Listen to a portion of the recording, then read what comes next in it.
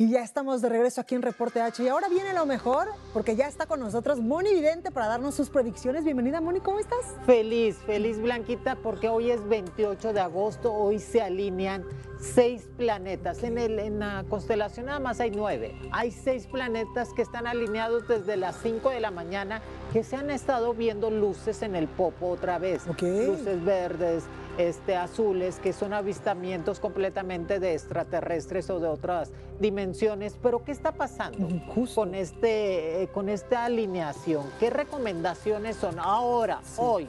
Hoy 28 de agosto y mañana 29, no dentistas, no sacarse muelas, no, no hacerse nada de cirugía, lo menos que puedas hacer invasivo para que no te tardes más en cuestiones de recuperarte. También se recomienda hoy y mañana cortarse el cabello, prender una veladora blanca si tenemos a la mano y prender incienso en la casa y un vaso con agua. Hoy, hoy la gente va a estar muy, muy exaltada con algo de problemas sentimentales, de enojos, porque las energías, tú te puedes imaginar, seis planetas alineados junto con la Tierra, pues fue cuando fue completamente el cataclismo del meteorito, fueron siete planetas alineados.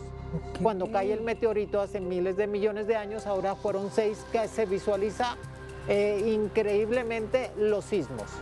Ayer tembló en Oaxaca dos veces. Ha estado temblando dos veces en Portugal, que tenían más de 50 años, que no temblaba tembló en Panamá, ha temblado en República Dominicana y sigue en alerta máxima Japón, Taiwán, Indonesia y China, porque los científicos visualizan un sismo de, de 9.7 o 10, grados. Yo creo que siguen a mono evidente. Sí, porque tú lo dijiste primero Yo lo dije, eh, este es el año del sismo. Este es el año del sismo total en este año 2024 que se visualiza otro sismo aquí en la Ciudad de México, pero nosotros no nos va a pasar nada, el puro susto. Qué bueno, Moni, porque esas visualizaciones, tú siempre eres la primera, incluso antes que los científicos. pues ayer tembló en, Oaxaca, la gente está muy asustada, en Guerrero ha estado muchos movimientos, la gente está, están viendo, Moni, cómo viene algo movimientos, pero nada, grave, no va a pasar nada. Ay, qué bueno, Moni, por tranquilizarnos. Oye, y hay rumores de que ya está definido quién va a ganar la Casa de los Famosos. ¿Qué nos dices al respecto? Sí, eh, ha estado muy polémica esta Casa de los Famosos por el hate, por tanta violencia que trae dentro de la Casa de los Famosos, que estaban diciendo, es que si sacas a Adrián Marcelo se quita lo interesante. No, el año pasado nadie estuvo así y fue una de las este, Casa de los Famosos más vistas gracias a Nicola y Wendy. Y yo creo que aquí no hay todavía alguien definido completamente, en el contrato no ha dicho, no sé, yo he firmado contratos y no te dice eso, simplemente que la Casa de los Famosos ahorita va a seguir una polémica y que se ve un pleito no con Arad de la Torre, sino con Agustín, lo que es Agustín y Adrián Marcelo por defender a Gala se vienen agarrando a golpes adentro de la casa de los famosos. Qué polémica ha sido. O sea, no se puede estimular tanto la violencia, el, este, el bullying, con tantas cosas. O sea, ha sido catastrófico porque van a salir de allí como una Mariana Echeverría sin, sin vetada de Televisa, sin programas, una Sabine completamente destrozada con los hijos. No todas las oportunidades son buenas. ¿eh? Justo. No todas las oportunidades que te lleguen en la vida pueden ser buenas. Y aquí, pues lamentablemente, esa situación se va a dar a galope. Ay, Moni. Oye, y ya viene septiembre, ¿cuáles van a ser los signos que van a traer toda la suerte del mundo? Sí, ya viene septiembre. Ahora el primero de eh, de septiembre, el domingo, prender su veladora de siete colores. Los signos que van a traer doble suerte rápida es Virgo, Libra, definitivamente este Acuario, Aries y Tauro. Esos cinco signos van a traer suerte todo el mes de septiembre. Cuestiones de cambio de trabajo, en cuestiones de salir de viaje, en poderse ganar un dinerito en la lotería. Sus números mágicos 0609 y el número 23. Su color el rojo y el color naranja, que lo deben de usar más y que preferentemente traten de tomar muchos líquidos, esos signos, ahora todo el mes de septiembre, porque renuevan las energías. Ay, qué buena noticia, Moni. Oye, y Jennifer López, J-Lo, no logra tener una pareja estable. ¿Cuál es la razón? Ya lleva no sé cuántos matrimonios. Cuatro.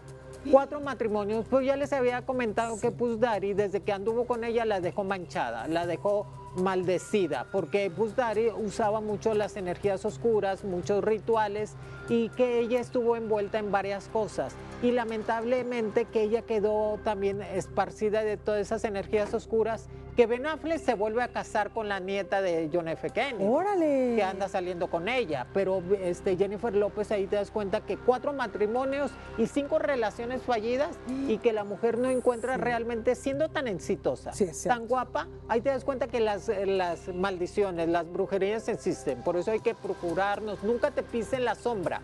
Cuando tú estás hablando, siempre por eso hay que hablar con la gente de frente. Nunca le des la espalda porque te pisan la sombra. No se dejen agarrar el cabello porque ahí te roban tu energía positiva. Tampoco no le des la espalda a gente negativa o violentada, menos en el trabajo o la escuela, porque te pueden escupir la espalda. Cuando te escupen la espalda, te roban tu buena energía.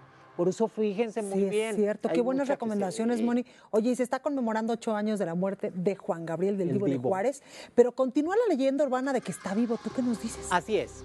Juan Gabriel, yo me tocó en el 2016 cuando estuvo allá en, en California, en Santa Mónica, que fue el evento, yo lo consulté porque él decía, yo quiero ver a Moni Vidente y yo lo consulté. ¿Cómo voy a morir, Moni? Así, porque le daba mucho miedo regresar completamente al hospital. Pero si tú me preguntas ahorita, en este día 28 de agosto del 2024, que si yo lo siento vivo, yo puedo pre- pre- presentir cuando la gente está embarazada y cuando se va a morir.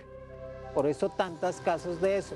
Y ahorita yo lo siento que sigue vivo, Blanquita, te lo juro, se los juro, señores, que siento que Juan Gabriel sigue estando a pesar de tanta polémica, siento que vive en nuestros corazones, en nuestras canciones y que si está vivo que le mande unas canciones a Natanael porque las está haciendo garra las canciones de él cada vez que Y a muchos canta. artistas, ¿eh? Sí, unas canciones, Juan Gabriel, por favor, ven, consulta de este, yo tengo una consulta gratis, pero sí creo que esté vivo y esté viviendo en Florida, cerca de donde vive Ivancito, su hijo.